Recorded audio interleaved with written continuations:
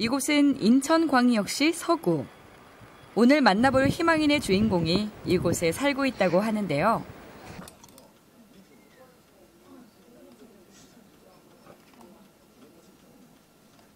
장애인 인식 개선 강사 이원준 씨. 그는 특수 전동 휠체어에 몸을 의지해야 하는 중증 척수 장애인이지만 유창한 말솜씨가 주 무기인 인기 강사입니다. 늘어난다. 강의에 쓰일 PPT 자료 역시 누구의 도움도 받지 않고 그의 힘으로 직접 만들고 있다고 하는데요.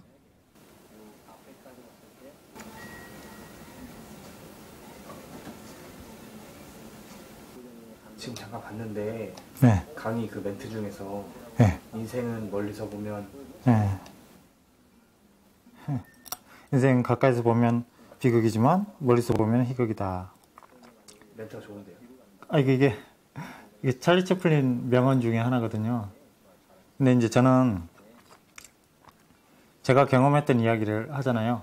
그래서 어떻게 보면 이 친구들이 가까이서 제 인생을 바라보는 건데 가까이서 보면 비극처럼 보일 수 있지만 제가 이 친구들한테 바라는 거는 어, 가까이서 보지만 비극이 아닌 희망을 봤으면 좋겠다 이렇게 얘기를 할 거거든요. 그래서 일단 찰리 채플린 명언을 인용을 하고 그리고 저는 어, 가까이서도 희망을 봤으면 좋겠다 이렇게 얘기를 할 거예요. 장애인 인식 개선 강사로 활동 중인 원준 씨는 템팀이 비대면 강의를 준비하고 복지재단에서 주최하는 인터넷 방송 촬영을 하는 등 누구보다 분주한 하루하루를 보내고 있습니다. 를 만드는데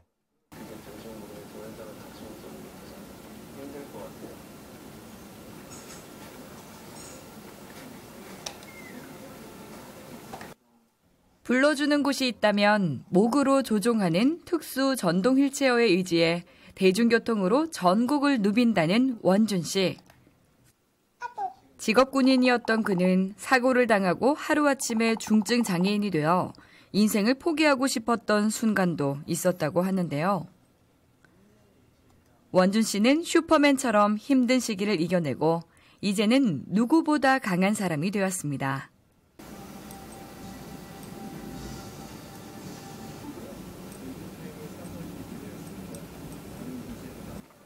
생각보다 네. 자료가 엄청 많이 많은 것 같아요. 아 그렇죠. 사실 이렇게까지 안 해도 되거든요. 음, 근데 제 성격상 제가 좀 약간 약간 완벽주의자인가 봐요. 좀 깐깐하게 좀 하는 편이에요. 그래가지고 일단 제 마음에 들어야 되니까 아 그냥 그냥 알파벳 B 하나 쓰면 되는데 저는 이왕이면 여기서 좀 같은 알파벳이어도 좀 예쁜 거 쓰려고 지금 이 사이트에 들어와가지고 여기서 다운받으려고 지금. 그러다 보니까 좀 제가 피곤하게 사는 것 같긴 한데 그래도 어떡해요? 제 마음에 들어야 되니까. 예. 아마 이런 이만큼 조금 더 노력하면은 같은 PPT여도 조금 더 예뻐 보일 것 같고 깔끔해 보일 것 같고 그리고 제가 강사로 말을 잘 못하더라도 PPT라도 조금 잘 만들어지면 좋겠다. 또 이런 생각도 있는 거죠. 어, 말도 못하는데 PPT도 엉망이면 사실 너무 창피한 거잖아요. 그래서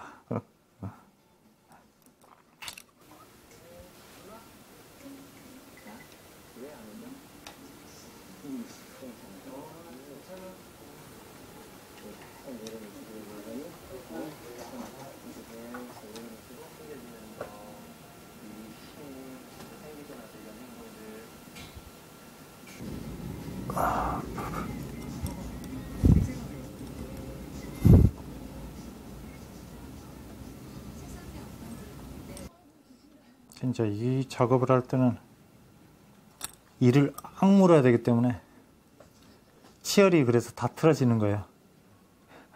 제가 터치펜을 물고 난 뒤로는 이 이가 아래가 다 틀어져 버렸어요. 하도 세게 불어가지고.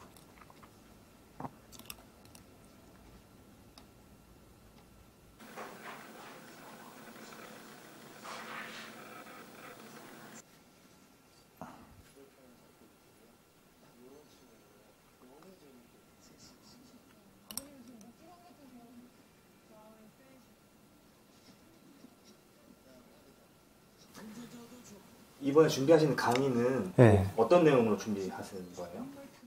저는 이게 저희 장애인 식 개선 교육 강의로 의뢰가 들어왔는데 이제 대상자가 예를 들어서 초등학생일 수도 있고 직장인일 수도 있잖아요.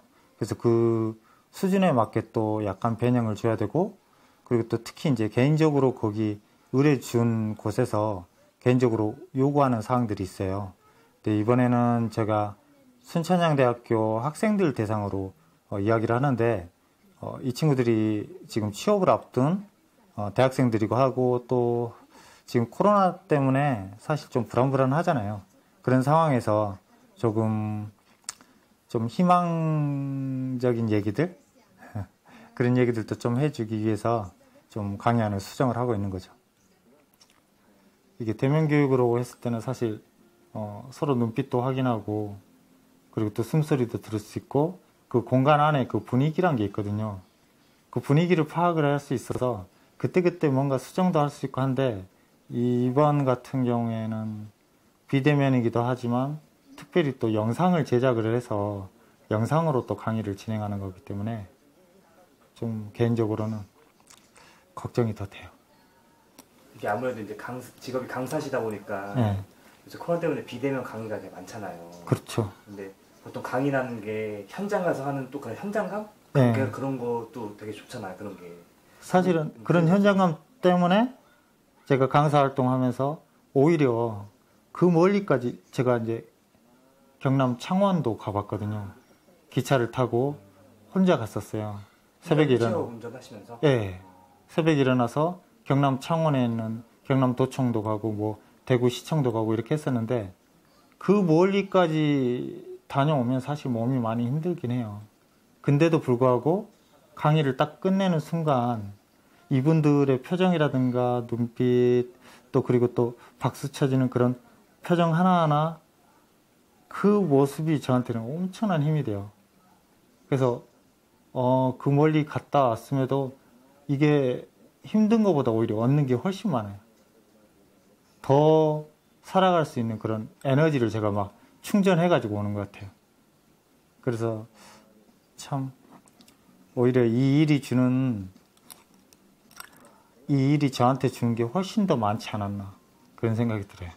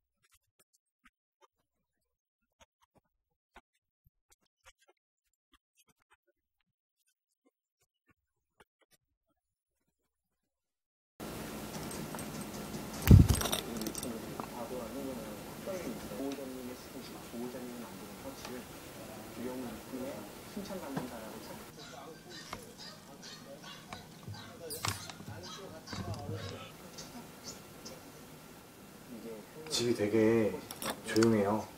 예, 그쵸. 공부하기 딱 좋은 약간 고시원 느낌. 애들이 지금 저, 지금 강의 준비하는 거 알고 더 조용하려고 지금 방 안에 들어가서 지금 자기네끼리 놀고 있는데, 근데 대체적으로 저희 집이 좀 조용하긴 해요. 이렇게 피, 뭐 PPT나 뭐 이렇게 뭐 강, 강의 자료 같은 걸 만들 때 네. 조용하게 좀 배려를 해줬나 봐요, 자녀분들이. 그리고 또 너무 시끄러운 아이들이 아니라서인지 대체로 좀 조용하긴 하지만 그리고 또 제가 일하고 있을 때는 좀 더 조용해지려고 하는 노력을 하죠.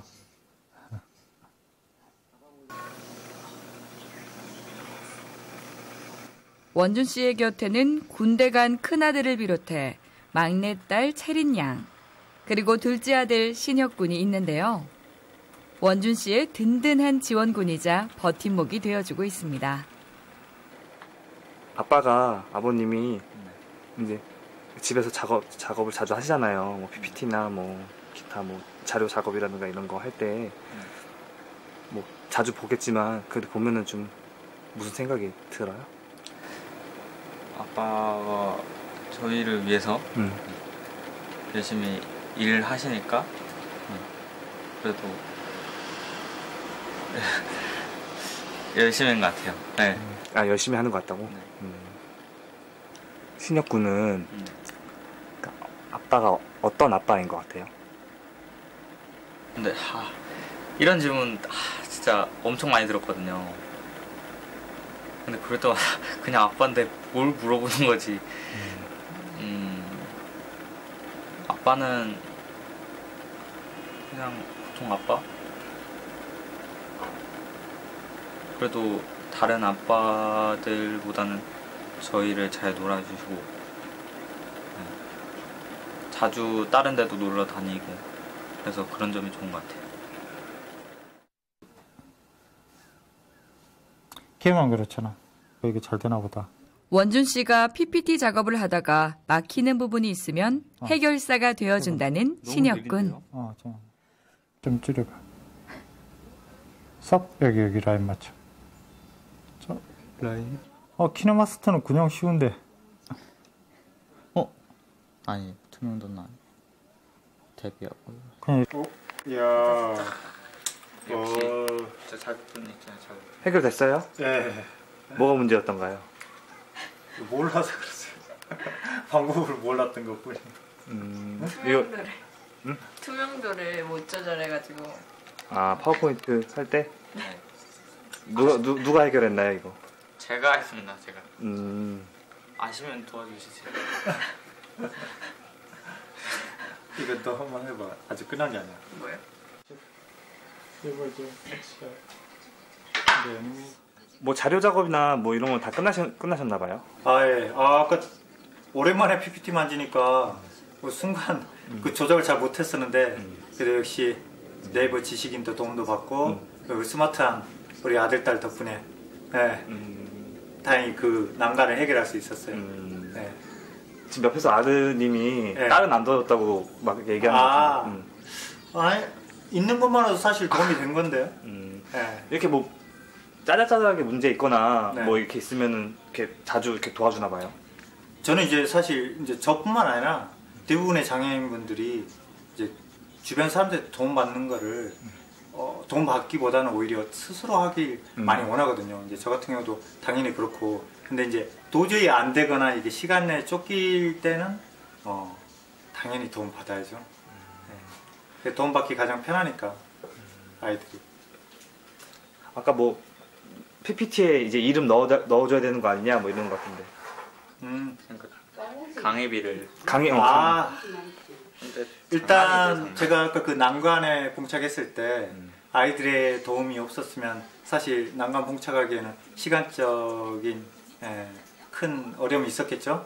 근데 이제 어찌됐든 아이들이 도와줬으니까 제가 강사료를 받으면 예, 아이들이 지분을 충분히 확보했다는 가정하에 예, 뭐라도 입에 넣어줘야겠다. 친우님, 최저는 체리는 피자, 예, 피누님을 음, 뭐라고 하는데 그러면? 지금 그냥 피자. 네? 뭐 확실히 주신다고 하셨잖아요. 뭐, 뭐 원하는 거? 피자. 피자? 체리는 피자.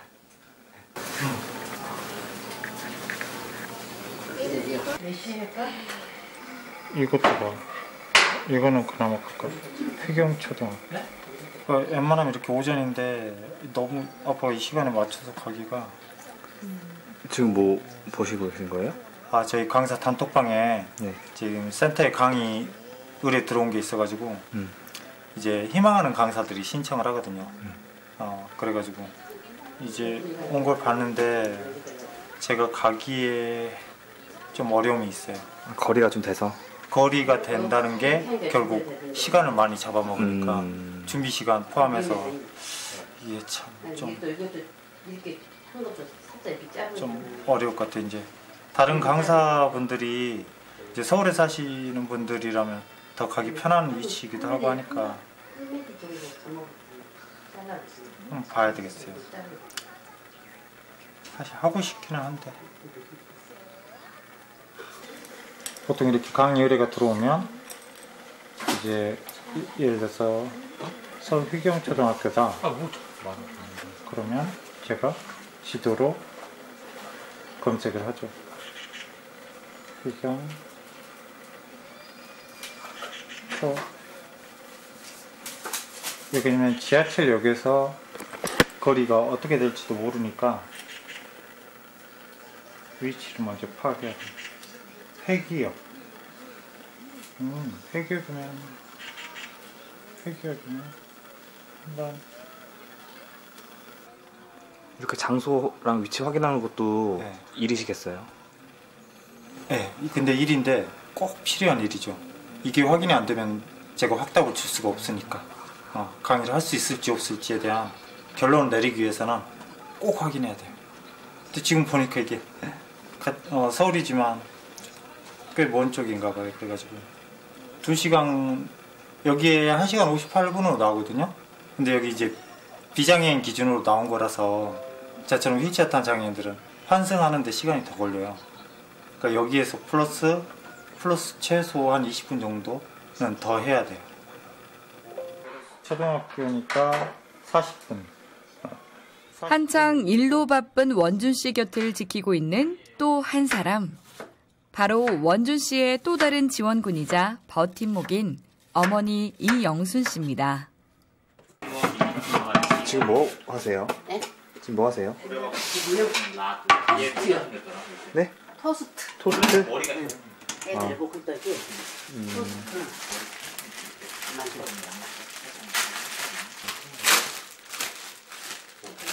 이렇게 자주 해주시나 봐요.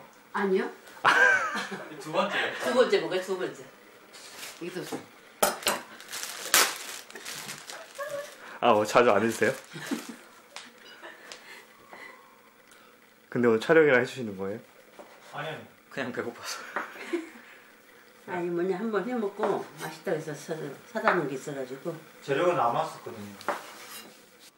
자주 안 해주신다 말은 해도 정성껏 원준 씨와 손자 손녀의 끼니를 준비하시는 어머니. 이렇게 아, 아드님이 이렇게 이제 인식 개선 강사로 활동하시잖아요. 네, 옆에서 보시면 어떠세요? 되긴 하죠 되긴 하고 자랑스럽고 그리고 저렇게 하려고 노력을 하니까. 네, 파워탄상. 모바일로. 아니 컴퓨터로. 이렇게 막 집에서 막 자료도 준비하고. 그렇죠. 혼자 새벽같이 자리 뭐 한다고 하면 혼자 준비하고 그러더라고요. 근데 무슨 하는지 저는 모르지. 저녁에 이제 휴대폰 만지고 그렇고 새벽에 다 잠들고 또 일거리에 들어오면 이제 진짜 완전 꼬박 나설 때도 있어요. 그 래갖고 일을 하더라고 근데 저는 무슨 일을 하는지는 모르시고 아무튼 자랑스러워요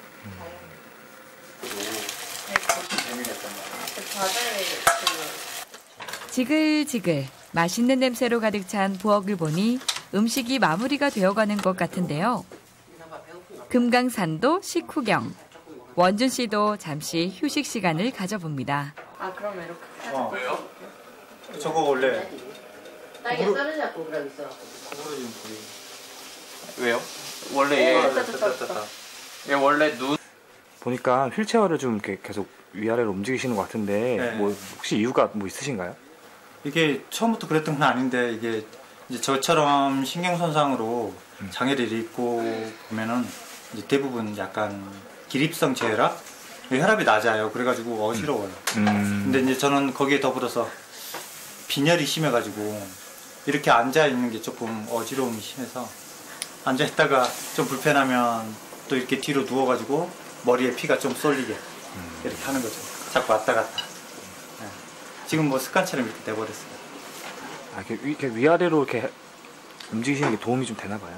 아무래도 이제 머리가 좀 낮게 내려가면 머리 쪽으로 피가 좀 쏠려서 어지러움이 조금 가셔요.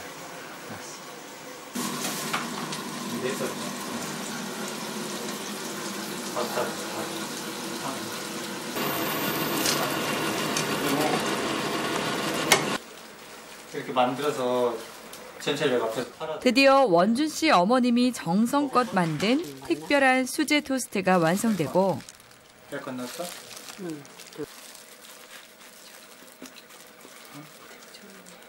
먹을 때 원래 조용하지. 아니 말하면 먹는 시끄럽게 먹어. 음. 가족끼리 머리 맞대고 앉아 맛있는 음식을 나눠 먹는 이 순간이 어쩌면 가장 큰 행복 아닐까요? 그 이삭 토스트에서 햄치즈 토스트 파는 느낌. 안 들어가서 그런 마늘 향 나면서 진짜 맛있어.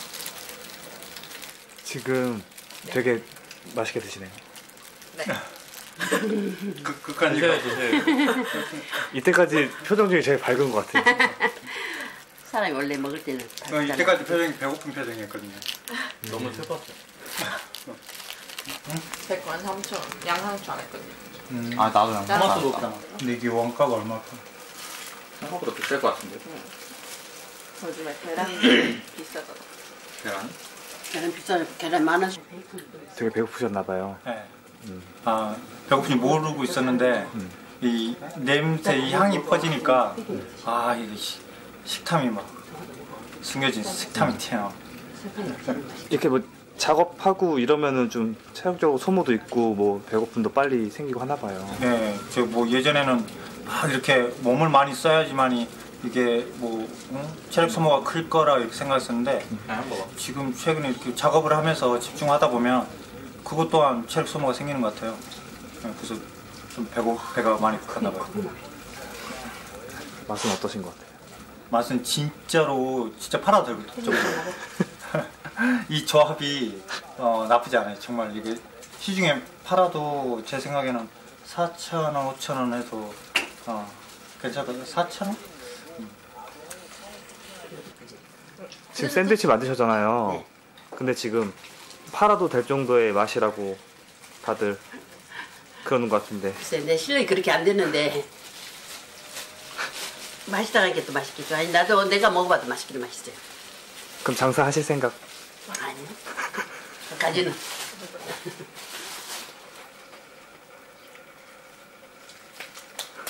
우리 식구들은 내가 한다면 팔아주겠지만 다른 사람들은 또 다른 사람 입에 안 맞을지도 몰라. 이거 이삭 이삭 토스트랑 딱 똑같은 느낌. 맛있는 음식 하나로 어느 때보다 행복했던 오후가 지나고 야, 진짜 쟤 너 이때 진짜 진짜 코딱지만 했다.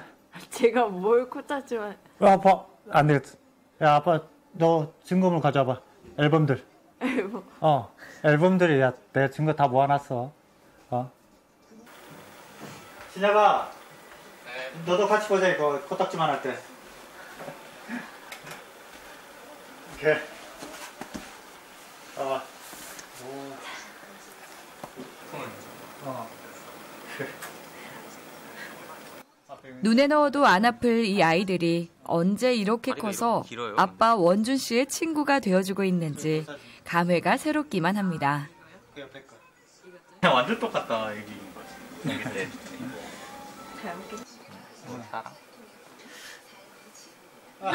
사벌. 똑같아지. 야 이거 마지막에 이거 찍기 잘했지. 저거 너무 예뻐. 그러니까 보라색. 어. 귀여워. 불따구고. 앨범 되게 오랜만에 보시나 봐요. 네, 그렇죠. 사실 다들 집에 앨범들 있지만 그렇게 자주 보지는 않잖아요. 음. 네, 근데 이렇게 갑자기 또 이렇게 생각날 때 옛날 앨범 꺼내 보면은 또 옛날 애, 애기 때 진짜 음, 그냥 정말 코딱지만 했을 때 그때 생각나니까 음. 어, 앨범 보니까 그런 재미가 있는 것 같아요. 오랜만에 이제 보고 지금 이제 좀 컸잖아요. 네. 어떤 것 같으세요? 아 진짜 감회가 새롭죠. 아니 이렇게 이렇게 벌써 이렇게 많이 컸나 싶을 정도로 순식간에 커버렸으니까 진짜 아이들 크는 거 보면 세월이 이렇게 흐르는거나 하고 어른들이 얘기하잖아요. 예, 그걸 새삼 느끼게 되는 것 같아요.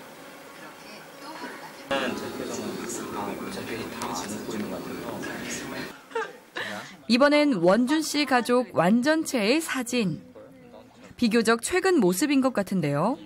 이분 다 똑같지 않나? 아니지. 근데 코는 살짝 안 닮고.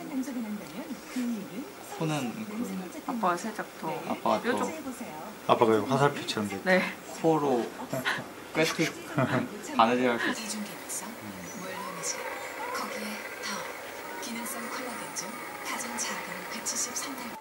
그 지금 보시는 사진은 네.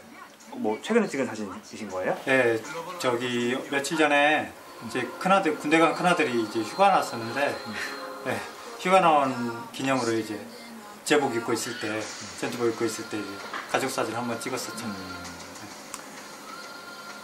이제 큰 아들이 이제 군대 있으니까 이제 보고 싶기도 하겠어요. 그렇죠. 아무래도 군대 가면 또 저보다는 군대 간 사람이 더 보고 싶겠죠 가족들을. 사랑하는 가족들과 함께한 하루. 원준 씨의 내일은 또 어떤 모습일까요?